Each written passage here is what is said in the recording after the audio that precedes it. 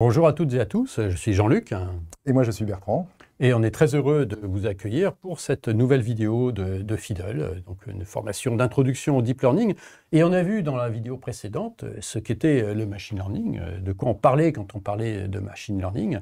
C'était le deep learning. Ce qu'était le deep learning. Et on va regarder cette fois euh, ben, ce que c'est qu'un neurone artificiel, la brique élémentaire du deep learning. Qu'est-ce que c'est euh, Qu'est-ce qu'est un neurone artificiel? Et on va regarder ça à travers les mathématiques. Alors on va faire des maths, mais on va essayer de faire des maths gentilles, des maths pas agressifs, des maths pas trop corrosifs, très accessibles, pour essayer de deviner, de comprendre, de découvrir ce qu'est euh, un neurone artificiel et euh, voilà comment, euh, qu'est-ce que cette brique élémentaire du deep learning de manière concrète. Alors, la première, le point de départ, un petit peu, ça va être notre régression linéaire bien habituelle. Voilà, on a un nuage de points comme ça. Et on va essayer de faire passer une droite à l'intérieur de ce nuage de points. Voilà. Et le but du jeu, alors cette droite, elle va permettre de comprendre le, comportement de ce nuage de points. Donc euh, bah là, on a un nuage de points qui, qui, monte euh, comme ça. Bah, on a une droite comme ça qui monte, qui représente euh, le comportement de ce, du phénomène qui est représenté par ces différents points. Alors, comment mesurer la position d'une droite à l'intérieur d'un nuage de points? Bah, On va calculer la distance de cette droite par rapport aux différents points. Donc, c'est les petits traits oranges qu'on voit comme ça on va comme ça essayer de minimiser cette distance, de trouver le point où notre droite est euh, la mieux placée à l'intérieur des nuages de points. Par rapport à tous les points. Par rapport à, tous, les, points. Alors là, je crois qu'on a une bonne et une mauvaise nouvelle. Donc la bonne nouvelle, c'est qu'on a une solution directe que l'on peut calculer. Sauf que la mauvaise nouvelle, c'est que finalement, elle est trop compliquée à calculer. Ah, ça fait trop de calculs et dès qu'on a des millions de points, ça ne peut plus marcher. Quoi. Oui. Alors, c'est euh, cette manière de calculer, c'est le, petit hiéroglyphe là qu'on a tout à fait là-haut. Quoi. Mais bon, du coup, comme on ne peut pas l'utiliser, on ne va pas s'y intéresser.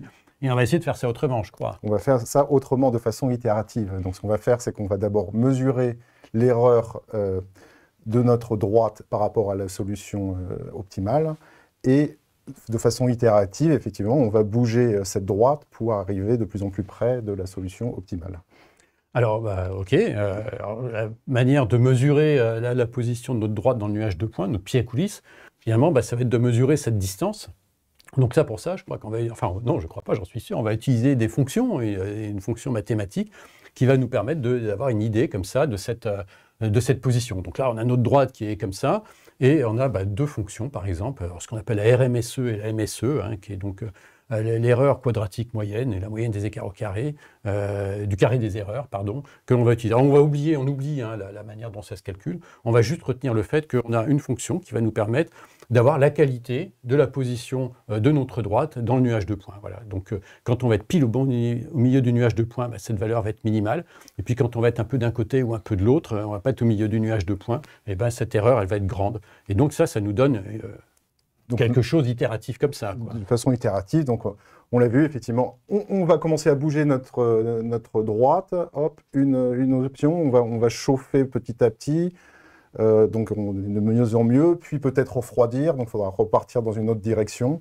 Et donc euh, voilà, c'est ce notre, euh, c'est notre optimisation, c'est notre descente de gradient on va comme ça, de manière itérative, essayer d'aller se caler sur notre position euh, idéale, qui est, ici, hein, euh, voilà, qui est notre position, notre meilleure position de notre droite ici. Et puis la, courbe en bleu que, l'on a comme ça, euh, qui, qui, monte et qui descend, bah, c'est voilà, on va se rapprocher, se rapprocher, se rapprocher, se rapprocher de la position idéale. On chauffe, on chauffe, on chauffe, on chauffe, on chauffe, Et puis une fois qu'on est passé en bas, en, bas de notre point ici, bah, on se rééloigne de l'autre côté, on refroidir, refroidir, refroidir, refroidir. Donc le but du jeu, ça va être d'essayer de trouver la position idéale dans cette, dans cette, dans cette descente. Voilà. Alors ça, ce phénomène de trouver la position idéale, on appelle ça tout simplement l'optimisation. Voilà, on a on a une erreur, une fonction d'erreur, et on va essayer d'optimiser la position pour minimiser cette erreur. C'est très intuitif, c'est ce qu'on fait quand on essaye de, poser un verre sur une table, on essaie de le poser de manière à ce qu'il ne tombe pas par terre. Voilà, on essaye d'optimiser ça progressivement. Et ça, euh, voilà. si on regarde d'un petit peu plus près d'un point de vue mathématique, alors là, on va regarder ça de loin, c'est ce qu'on appelle la descente de gradient en mathématiques. Donc, euh, intuitivement, si on change notre position euh, la position de notre droite, ben, on va changer la qualité de la note. C'est-à-dire mmh. que si on se rapproche de la position idéale, ben, la, qualité, la, qualité, la note euh, de position de notre droite, elle va être meilleure. Et puis l'erreur va être plus petite. Et puis si on s'éloigne de la position idéale, ben, l'erreur va augmenter. Et là où les maths sont géniaux, finalement, c'est qu'on va inverser le processus. C'est-à-dire qu'on va regarder comment varie cette fonction d'erreur, et en fonction de la variation de cette fonction d'erreur, on va modifier la position de la droite. Les maths nous permettent d'inverser le processus. Et donc, comme ça, en regardant euh, comment se comporte l'erreur, euh, on peut deviner où trouver la meilleure position et comme ça, progressivement, trouver la position idéale euh, itérativement, en mesurant et en modifiant la position itérativement. Itérativement, donc pas à pas, comme pas le, à pas, voilà. Et c'est alors là une illustration, hein, que là, on a une petite illustration de ce, de ce, de ce calage hein, finalement. Oui, que vous pouvez retrouver en fait dans le notebook grade 1 de la formation FIDOL. Alors oubliez les mathématiques en haut effectivement, l'idée, effectivement, la très applicative, c'est on part d'une droite initiale qui est en bas ici, boum, on fait une itération, un pas, hop, hop, hop, hop, hop, hop, hop, hop jusqu'à la, la, position idéale de la droite.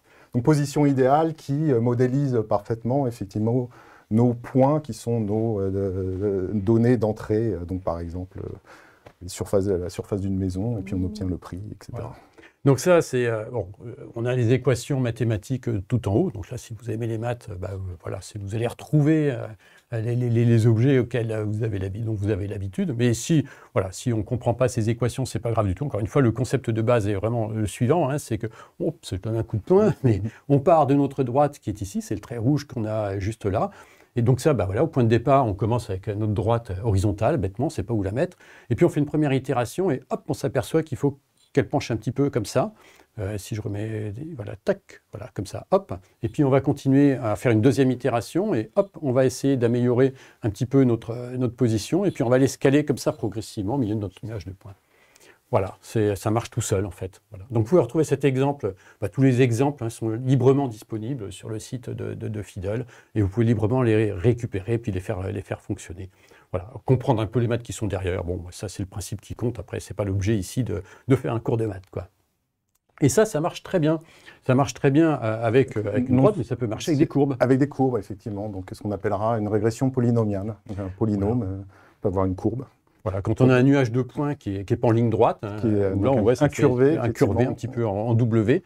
On peut modéliser. On peut modéliser, on peut représenter ça. Voilà. Et ça, bah, ça peut bien se passer ou moins bien se passer. Euh. Oui, donc là, on comprend bien effectivement que euh, le bon modèle, c'est le good fitting, ici, ici. Donc, c'est la courbe qui épouse euh, effectivement ce profil de points.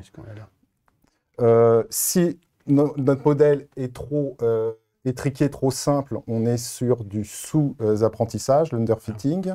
Donc là, effectivement, c'est notre régression linéaire qui qui, euh, qui n'épouse pas la, courbe du nuage de points. Et par contre, si on complexifie trop le modèle, on est sur du surapprentissage. Donc euh, le cas euh, ici, effectivement, tout en bas, où là on voit qu'effectivement la courbe en fait cherche trop à aller euh, euh, euh, modéliser les points et donc on a, on a un phénomène d'hallucination de, de, modèles. Il ne faut pas être trop intelligent en fait. C'est-à-dire que quand, si on n'a pas assez d'intelligence, on n'est pas capable de mmh. comprendre la complexité du phénomène. Donc là, c'est bah, ce qu'on a. C'est ce qu'on a ici, hein, la courbe droite qui n'est pas capable de représenter le phénomène. Il n'y a pas assez d'intelligence, il n'y a pas assez de complexité dans le, dans le modèle, finalement. Une courbe, un trait, ce n'est pas, pas suffisamment compliqué pour représenter un nuage qui n'est qui est pas droit. Et puis, euh, à l'opposé, quand on est sur quelque chose qui est trop... Voilà, on a trop d'intelligence, on cherche des problèmes là où il n'y en a pas, on va essayer de passer par tous les points, euh, et, donc ça ne veut plus rien dire non plus. C'est le bachotage quand on, prépare un examen, on reprend les exercices euh, et on travaille à fond, à fond, à fond, à fond, et on va imaginer des problèmes là où il n'y en a pas. Et ben, c'est exactement le même phénomène qu'on peut avoir avec, avec ce genre d'outils qu'on peut avoir chez nous les humains et puis sans doute même chez les bactéries, ça va bien se passer aussi. Il n'y a pas de raison qu'on ne puisse pas faire de surapprentissage. Voilà, donc ça c'est une illustration. Alors c'est des concepts extrêmement importants. Trouver la bonne complexité pour euh, appréhender un phénomène. Euh, si on a trop de complexité, ben on, va chercher des problèmes là où il n'y en a pas.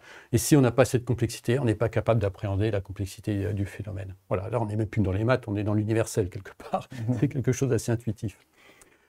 Ok, euh, mais on n'a toujours pas vu des réseaux de neurones là, du coup. Qu'est-ce que c'est qu'un réseau de neurones? Alors on va prendre un exemple, je crois. Voilà. Un exemple simple, effectivement. Un exemple, on va essayer de prédire euh, le succès aux examens euh, des étudiants. Alors on, va voir des, exemples en amont. Donc on va voir A, Alice, donc elle qui a beaucoup dormi et qui a beaucoup travaillé. c'est des résultats d'examen en fonction de leur heure de sommeil et de leurs heures de travail. Voilà, ben, c'est ça. l'examen. Oui, elle a beaucoup travaillé et beaucoup dormi avant euh, son examen et elle a, plutôt, elle a réussi son examen. On a Bob qui, lui, euh, au, a beaucoup dormi, mais n'a pas beaucoup travaillé. Ah, ça s'est pas bien passé alors. L'examen ne s'est pas bien passé. Carole, qui au contraire, elle, a beaucoup travaillé, mais a oublié de dormir. Et ça s'est pas très bien passé non plus pour elle. Et puis Daniel, bah Daniel, il a, il a travaillé, il a dormi, un peu travaillé, un peu dormi. Et la question, c'est OK, mais qu'est-ce que ça peut bien donner? Et le but du jeu, c'est d'essayer de prédire, euh, voilà, de prédire le succès ou l'échec euh, de Daniel, quoi. Sachant euh, ce qu'a fait Alice, Bob et Carole. Voilà. Alors, bah, pour faire ça, alors c'est un exemple réel, enfin un exemple réel, les données sont imaginaires, certes, mais le, principe est tout à fait classique. Donc, on va récupérer un grand nombre de données, euh, donc de, tout un tas d'étudiants. Donc, euh, en rouge, là, on a ceux pour qui ça s'est pas très bien passé, parce qu'ils n'ont pas beaucoup travaillé, ou parce qu'ils n'ont pas beaucoup dormi, ou parce qu'ils n'ont pas beaucoup fait ni l'un ni l'autre. Et puis en vert, bah, ceux pour lesquels ça s'est bien passé. Donc, euh, on retrouve par exemple Alice, dans le nuage vert. Et alors, on va prendre un petit peu de vocabulaire. Hein. On va dire que chaque qu'un des points que l'on a ici, qui correspond euh, à la situation d'un étudiant, on va appeler ça une observation. Mhm. On va appeler ça, euh, c'est chaque point d'un dataset, on appelle ça une observation. Et ces observations ont des caractéristiques, et ces caractéristiques, bah, c'est le nombre d'heures de travail et le nombre d'heures de sommeil. Voilà, ça c'est le, langage, on va dire, des data scientists et de l'IA. Et puis le fait d'avoir réussi ou raté l'examen, on va appeler ça la, classe euh, euh, de résultats. Donc euh, bah, soit ça a réussi, soit ça a raté. On a deux classes qui correspondent à chacune des observations. Voilà, ça c'est pour le vocabulaire. Classe ou label, c'est notre label, voilà. ensemble de données supervisées. Et l'objectif, c'est bah, quand on va récupérer comme ça un ensemble de points non labellisés, mhm. dont on ne sait pas exactement ce qui, enfin on ne sait pas du tout ce qui s'est passé. Donc par exemple, on a Daniel qui est au milieu du nuage et euh, bah, d'être capable de faire une prédiction a réussi ou n'a pas réussi euh, l'examen. Voilà. Et pour ça, bah, on va faire une fonction oui. qui, euh, quand on va donner une observation, on va dire, bon, bah, la fonction, voilà, je te donne une observation qui correspond à un nombre d'heures de travail, à un nombre d'heures de sommeil. Dis-moi, voilà, est-ce que c'est réussi derrière ou est-ce que c'est pas réussi Quelle est ta prédiction? C'est une fonction Madame Soleil, en fait, un petit peu, qui va essayer de deviner ce que c'est, enfin, ce qu'est le résultat. Alors, alors, comment on va faire ça? Euh, tu veux nous en dire un mot? Bah, Par euh, régression logistique. Alors, qu'est-ce que c'est que la régression logistique? Ah bah, en fait, c'est une petite fonction mathématique euh, toute bête où on va prendre notre observation en entrée, hein, c'est bah, ce qu'on a tout au bout là-bas, x1, x2, x3, etc. Donc, bah, c'est les caractéristiques, c'est notre observation, donc le nombre d'heures de travail et le nombre d'heures de sommeil. Donc, on va prendre le nombre d'heures de travail, x1, que l'on va multiplier par un poids, W1.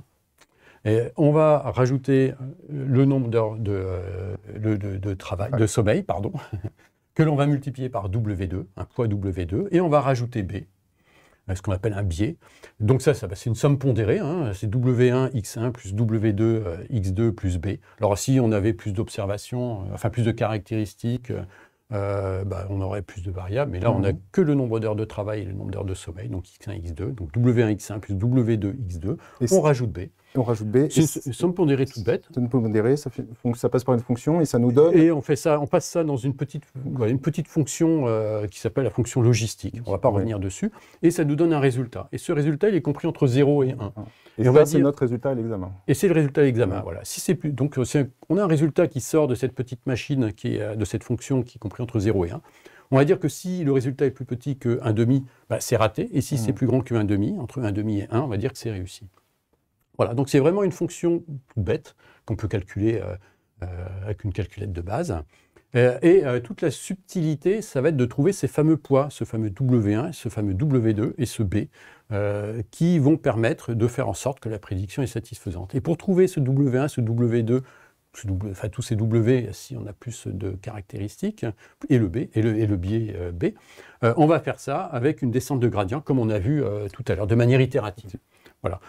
Retenons juste ça, c'est qu'on va essayer de calibrer cette fonction qui va nous faire la prédiction de manière itérative en faisant cette fameuse descente de gradient, en essayant de minimiser cette fameuse fonction. Il n'y a que ça à retenir. Le reste, c'est euh, le, petit hiéroglyphe qu'on a tout à fait, euh, tout à fait en haut là-bas, c'est l'expression mathématique de, ça, mais ce n'est pas très important de le retenir de cette manière-là. Ce qui compte, c'est le principe. Et ce principe, cette fameuse petite fonction, bah, c'est un neurone artificiel.